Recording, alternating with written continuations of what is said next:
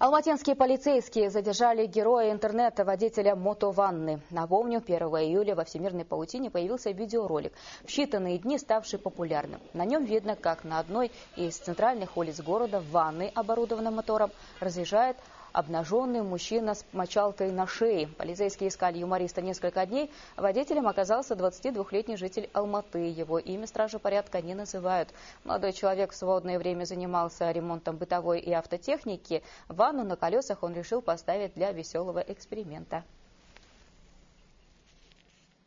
Пояснять, что тем самым хотел поднять настроение жителям города Алматы. Он также пояснил, что никаких э, корыстных целей он не преследовал, э, что двигался исключительно по правой, по правому ряду проезжей части и пообещал, что впредь больше не будет экспериментировать. Весельчака полицейские отпустили в тот же день, и он отделался устным предупреждением.